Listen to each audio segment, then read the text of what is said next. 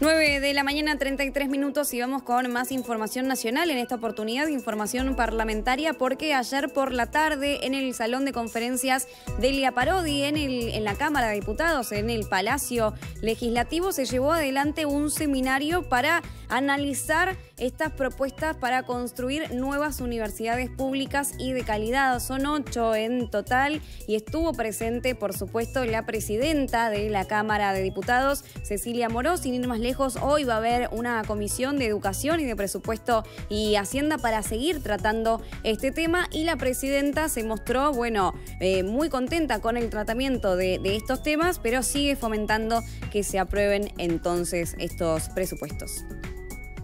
Hicimos hoy una jornada de debate y reflexión con distintos legisladores y legisladoras, también con rectores de universidades y representantes de universidades, sobre todo del Gran Buenos Aires, y sobre todo con egresados y egresadas, que la mayoría de ellos son primera generación de universitarios en su distrito, en su lugar. Tener la universidad cerca, eh, cuando descubrí que la Universidad Nacional de Moreno estaba cerca de mi casa, eh, todo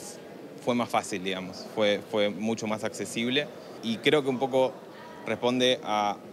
las experiencias familiares que había tenido. Muchas parientes, familias habían intentado estudiar, acceder a la educación y no, no pudieron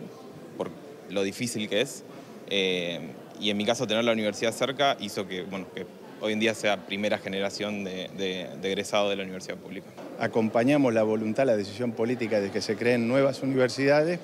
porque comprendemos la importancia que tiene para el desarrollo territorial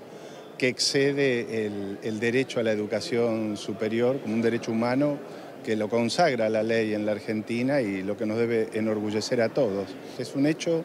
que los territorios que cuenten con universidad van a ser más competitivos para este futuro